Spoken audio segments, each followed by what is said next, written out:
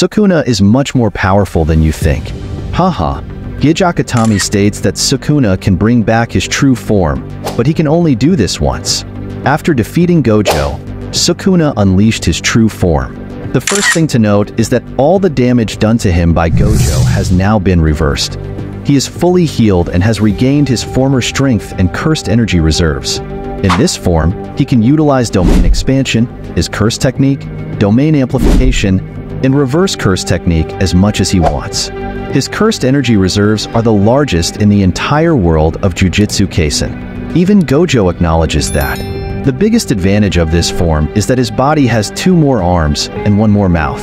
After Kashimo sees his form, he immediately calls Sukuna beautiful and notices that this is the perfect body for a sorcerer because the extra mouth allows him to constantly chant and upgrade the power of his techniques.